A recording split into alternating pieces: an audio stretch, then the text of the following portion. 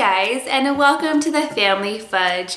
Today I'm going to share with you my three-part plan of attack when it comes to spring cleaning. I'm going to share with you how I've planned it all out, what kind of products I'm going to use, and how I'm keeping it all organized. So stay tuned. Okay friends, now I've said it before and I will say it again that I am not a big fan of cleaning. There are so many things I would rather be doing, but I'm also not a big fan of a stinky, messy house. So now that the spring season is upon us, I'm thinking about spring cleaning and I'm thinking about the ways to motivate myself to get the job done. And that's why I came up with a three-step plan of attack. So let me share that with you today. For step number one, I started by writing down all of the areas that I wanted to clean. I wanted to make myself a checklist. Now I went to Pinterest for some inspiration and I found lots of printable lists there, but they were really detailed with a lot of steps on the list and I kind of wanted to simplify things. Now I wanted to keep this as realistic as possible because I don't usually have a lot of time during the day to do a lot of cleaning.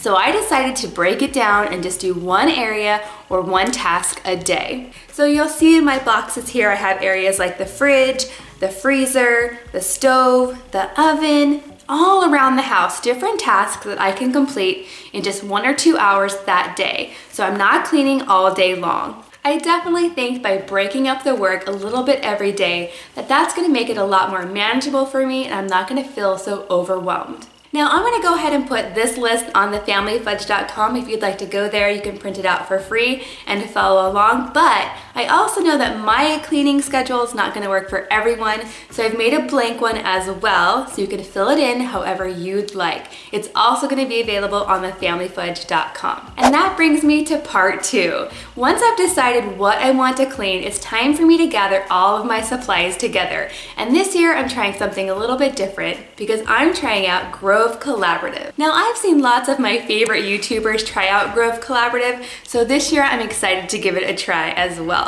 So basically, if you've never heard of Grove Collaborative, it's a website where you can go and order all natural cleaning products. They also have things for your home and beauty supplies as well, all natural, non-toxic, and safe for your family which is definitely important for me since I have a lot of little kids in this house. They have Method brand cleaners, Mrs. Meyer's, and so much more. And what's really cool is they also carry a lot of the seasonal Mrs. Meyer's products, you know, the special scents that are kind of hard to find at regular stores, they have those. And here's a fun bonus, you guys. They almost always have some sort of special deal going on, like free products or a discount. Right now, if you sign up, you can get a free Mrs. Meyer's hand soap and $10 off your order of $20 or more. So that's a pretty good deal. If you're curious, I put a link in the description box below. Now, if you happen to be a huge fan of cleaning and you're curious to see what I got in my Grove Collaborative haul, I think I'll go ahead and make a separate video if you wanna check it out. Now that brings me to part three of my plan, and I have to say I'm most excited about this part because it has to do with organization, which I happen to love. This year, to keep me organized, I've created a cleaning trolley. I started by repurposing a rolling cart that I previously had in my office and I actually found this at Target. It wasn't very expensive at all and you can find similar carts at Michael's and Ikea and places like that.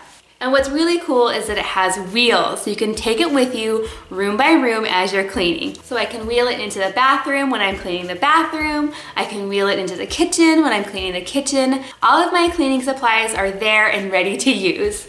To separate my supplies within my trolley, I'm using some dollar store bins. I just love this purple color. On the very top row, I'm keeping all of my spray bottles.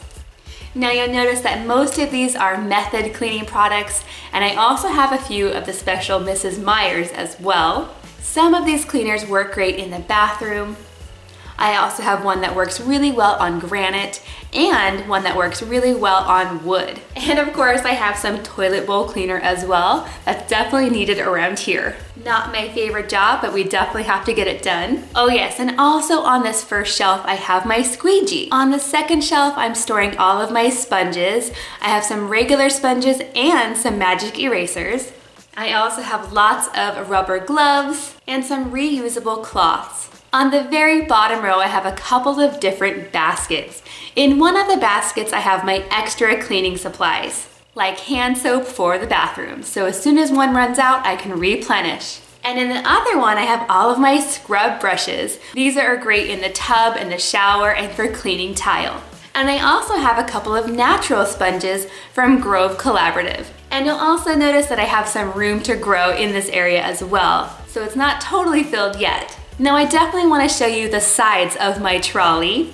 On this side, I've added two command hooks, which are holding two different kinds of dusters. I have a longer one that's great for cleaning ceiling fans, and I have another microfiber one that's great for cleaning shelves, bookcases, and things like that. And finally, on this other side, I have two small trash cans, and they're also hanging by command hooks. The first one is designated for trash. So any room that I'm cleaning, if there's trash that I need to throw away, I can easily put it in there and not have to take it all the way out to the kitchen garbage. Now the trash can on the bottom is designated for dirty rags. So if I've used a microfiber cloth or one of my reusable towels, I can go ahead and place it in there while I'm cleaning. And then when I'm all done, I can take that to the laundry and wash them. Again, I'm not having to stop what I'm doing to run it to the laundry. I can just put it in there until I'm done. So yes, I'm definitely excited about my new cleaning trolley. I really think that it's super cute and organized and it's definitely gonna be convenient when I'm cleaning throughout the house. And I'm definitely gonna make sure to store this in the garage where my kids don't have access to it. Now if you like this video today, please give it a big thumbs up and don't forget to subscribe if you're not already. Now if you'd like to see more videos from me, you can do that by clicking on the link up here or down there. Thanks for watching and I'll see you next time.